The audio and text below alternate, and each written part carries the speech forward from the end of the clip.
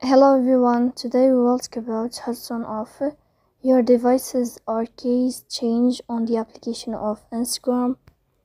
You go to Instagram. In this page, you go down to click in this sign and you will enter. Here in this window, you will go to this page.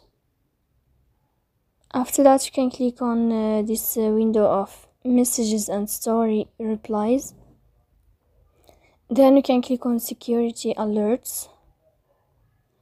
After that you can click on this sign if the sign change then you can know how to turn off your devices or case change on the application of instagram. So please don't forget to support us by like and uh, subscribe.